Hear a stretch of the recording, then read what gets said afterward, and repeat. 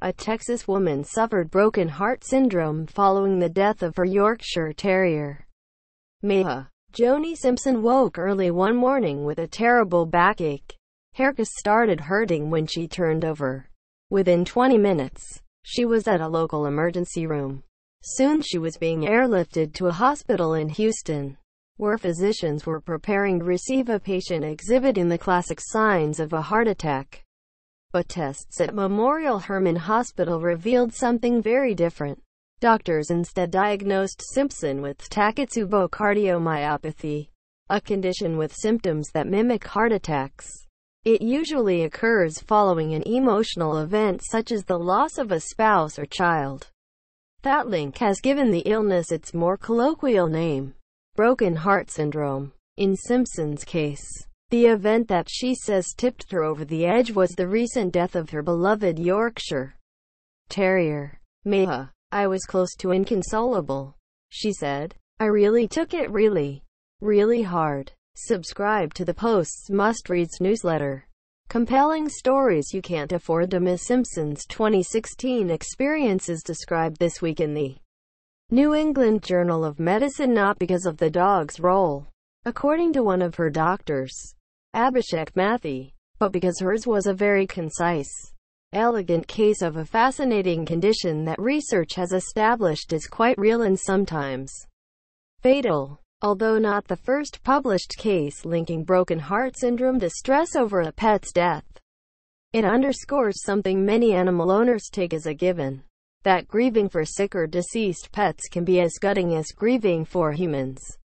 A growing body of research supports this notion, which was echoed in a recent study that found pet owners with chronically ill animals shave higher levels of caregiver burden, stress and anxiety. It's the flip side of evidence that links pets to health and happiness, which gets more attention. Not that people who have lost beloved animals are likely to be surprised.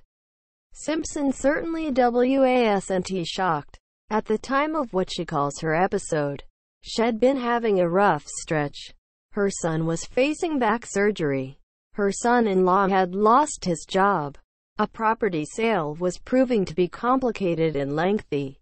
Meanwhile, nine-year-old Meha was suffering from congestive heart failure. The dog was like a daughter, Simpson said. She adored jumping into the swimming pool. And when Simpson and her husband grilled on Friday nights, Meha was given her own hamburger. The kids were grown and out of the house.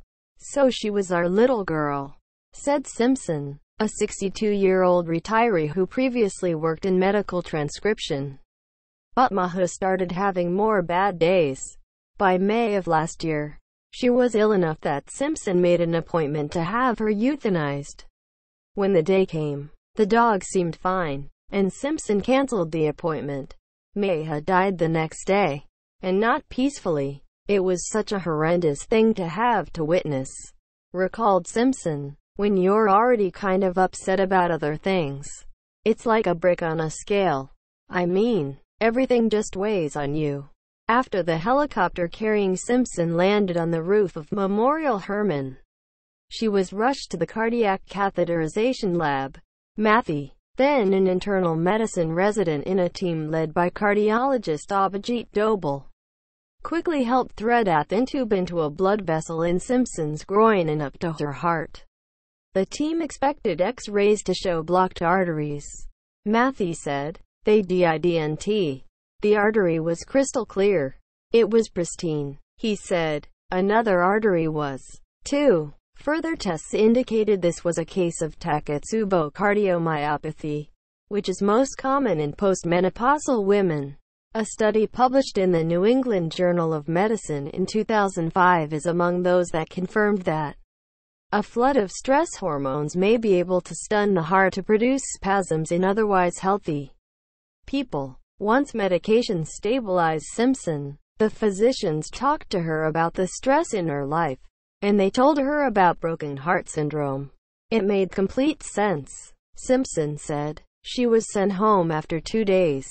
And though she still takes two heart medications, she is doing fine. Simpson, who now lives about two hours northwest of San Antonio in the town of Camp Woods, only has a cat named Buster these days. She hasn't yet made the right connection with a dog. Though she's sure it will happen. She is the kind of person who takes things more to heart than a lot of people. She said, and she figures this tendency means her heart will break again. Though maybe not so literally. And it will be worth it. Simpson said, It is heartbreaking. It is traumatic. It is all of the above. Simpson said, But you know what? They give so much love and companionship that it'll do it again. I will continue to have pets. That's not going to stop me. Read more. There's a medical term for dying of a broken heart. Is this what happened to Carrie Fisher's mother? Debbie Reynolds. We love stories about dogs mourning their owners. But they might not be what they appear.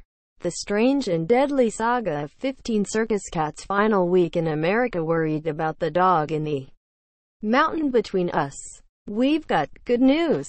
The death of pet can hurt as much as the loss of a relative.